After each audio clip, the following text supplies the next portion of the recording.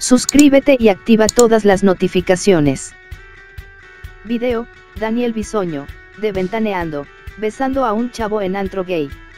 Los rumores acerca de que el conductor de Ventaneando, Daniel Bisoño, sale con hombres fueron comprobados por TV Notas, ya que tienen un video, donde se ve besando a un hombre en un antro gay.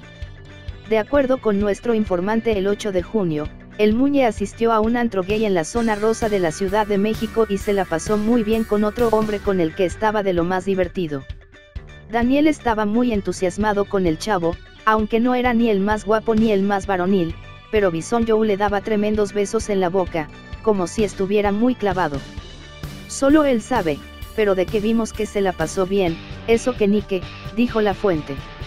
Asimismo, comentó que Daniel Bisoño iba en su sano juicio y no le preocupaba que la gente lo reconociera. Yo no lo vi llegar, pero me contaron que llegó solo y la mayoría del tiempo que yo lo vi, estuvo solo, luego la compañía la consiguió ahí mismo. Daniel iba arreglado muy formal, con trajecito, y como es un hombre alto, pues más llamaba la atención. Pero respondiendo a tu pregunta, no estaba como muy al pendiente cuidándose de la gente, mucho menos luego de que se topó con este chavito y se empezaron a besar, y hasta donde yo me quedé en el antro, se quedaron juntos, finalizó. Te dejamos el link del video de Daniel Bisoño besándose con otro hombre en la caja de comentarios. Suscríbete y activa la campanita para más videos.